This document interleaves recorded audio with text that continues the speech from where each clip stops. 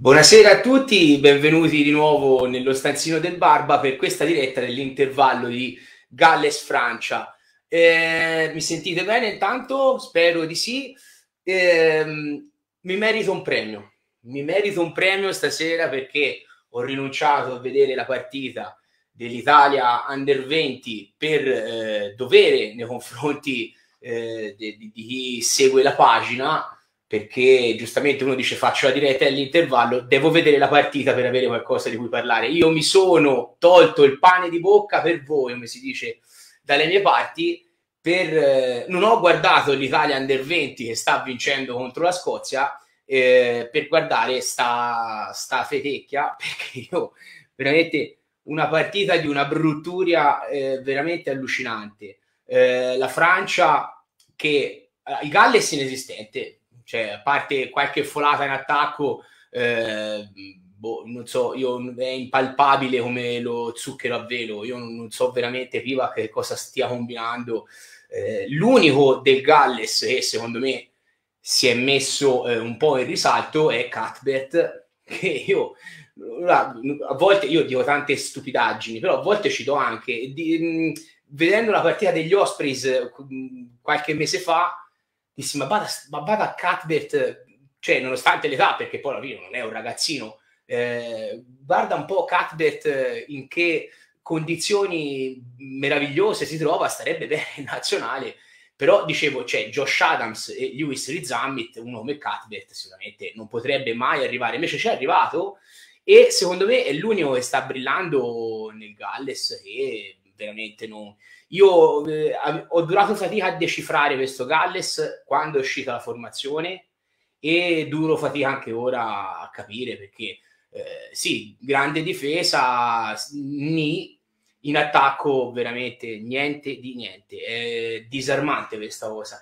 D'altra parte di là c'è una Francia che parte, eh, non dico piano, perché dire che la Francia parte piano è un po' un eufemismo, parte con, eh, con attenzione, un po' con il freno a mano tirato, senza quelle tipiche folate che caratterizzano la Francia nel suo gioco in attacco eh, e nei primi minuti quando prova a accelerare e a pestare nell'acceleratore eh, fa errori, eh, cadono palloni a destra e a sinistra e quindi alla fine anche il merito della difesa del Galles, sì, un po' di pressione, ma alla fine secondo me la Francia se l'è complicata da sola questa partita. Tant'è che poi al nono minuto, quando eh, si sono decisi a mettersi tutti d'accordo, hanno fatto una meta veramente meravigliosa.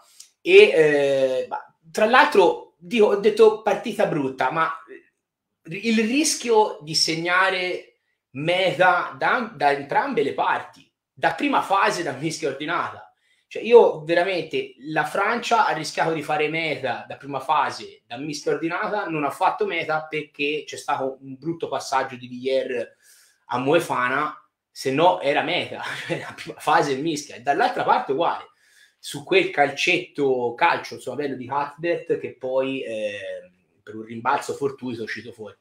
Quindi io non so, è veramente una partita eh, indecifrabile L'unica cosa bella di questa partita è l'equilibrio del risultato, l'equilibrio del gioco che eh, per ora non è stato rotto, mh, mm, eh, però veramente ci sono stati eh, 5 minuti fra il trentesimo e il trentacinquesimo in cui si è visto di tutto. Sembrava che giocassero a palla avvelenata, infatti Carley a un certo punto ha messo il fischietto in tasca e ha detto ora li guardo, li lascio sfogare un po' e poi quando si sono sfogati fischio qualcosa, li fermo perché era veramente, come si dice, come dice un tecnico famoso, era il gorillaio, era veramente il gorillaio.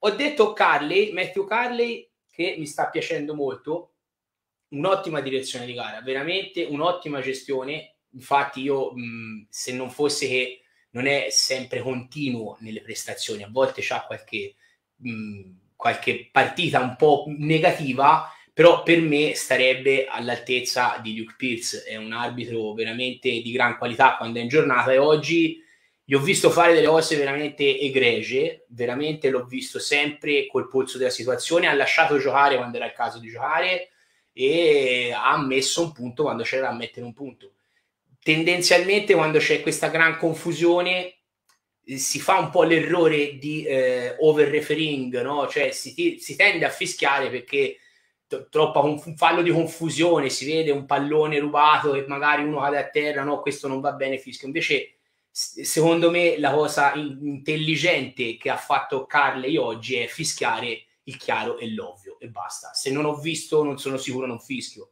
E questo secondo me è stato un valore aggiunto per la partita non ha risolto la confusione perché poi quando ci sono stati questi momenti di gioco rotto allucinanti, forse c'era bisogno di mettere ordine. Siamo abituati a veder mettere ordine in quel casino lì, eh, ma alla fine effettivamente se non c'è un fallo perché dovrei fischiare? Quindi bene. E vorrei sottolineare molto bene Andrea Piardi che non so se l'avete notato, non è stato detto, è stato notato in diretta da... Eh, dai commentatori di Sky, ma la palla calciata da Dan Biggar esce, eh, esce in touche fuori dall'area dei 22 e dentro l'area dei 22 il pallone viene raccolto da un Tamac che batte veloce e calcia diretto in touche. Ora, siccome il pallone è uscito da fuori i 22, quel pallone è stato portato dentro come se fosse stato in campo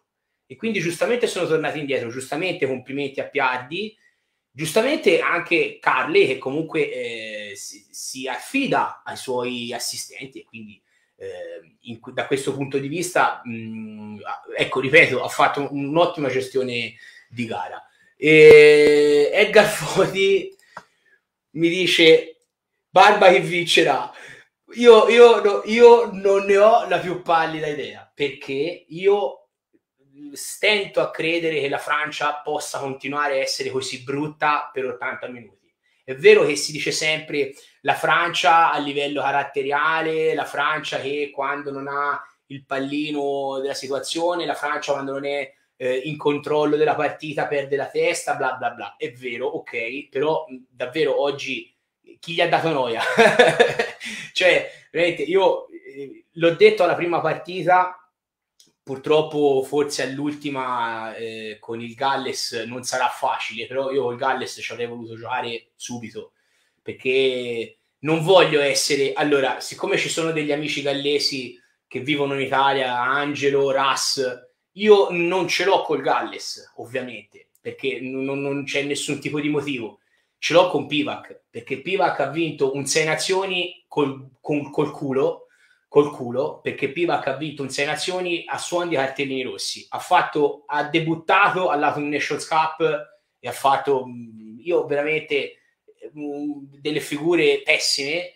Dopo aver vinto eh, le sei nazioni grazie a cartellini rossi e perché dall'altra parte c'era la Francia che ci pensava a buttare via occasioni per vincere per sei nazioni, quest'anno giustamente si gioca il cucchiaio di legno con l'Italia e sicuramente vincerà il cucchiaio di legno l'Italia, per carità di Dio, però abbiamo ristabilito gli equilibri del Galles di Pivac. Io lo dico senza vergogna, poi probabilmente non tutti sarete d'accordo con me, però eh, il Galles di Pivac secondo me non, non funziona. Veramente io duro fatica anche a capire determinate scelte di formazione.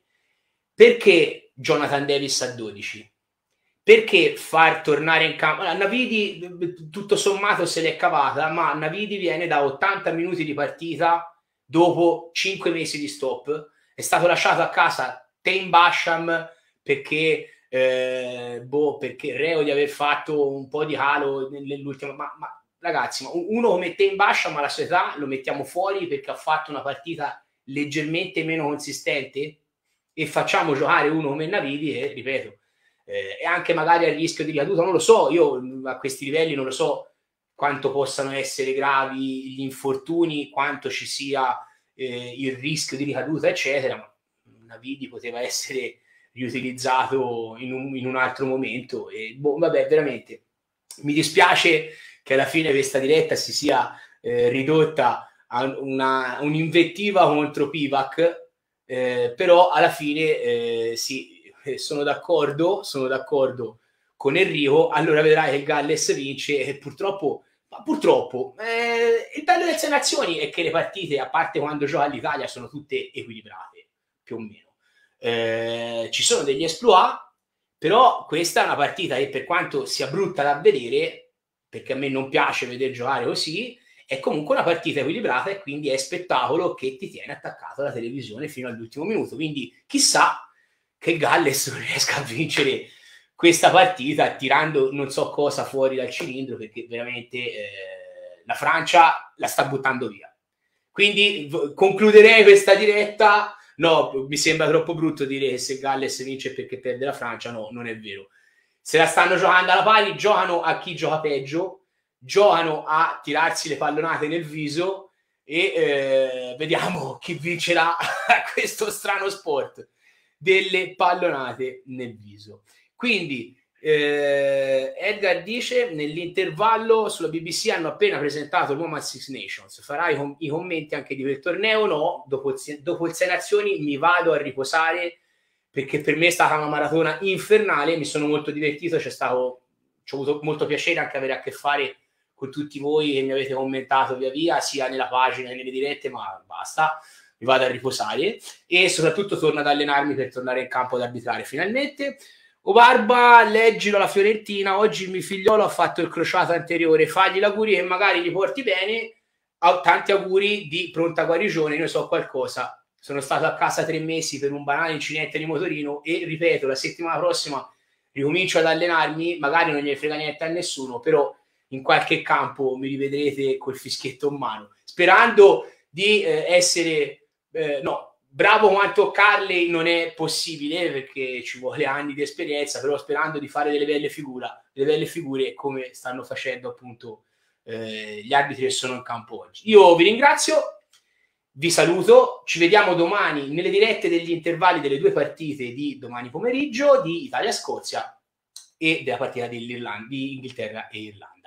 Vi saluto, vado a bere una birra, si è seccata un po' la gola, stasera ho parlato tanto, eh? sono andato un po' oltre. Vado a bere una birra, mi, vi saluto e ci vediamo domani.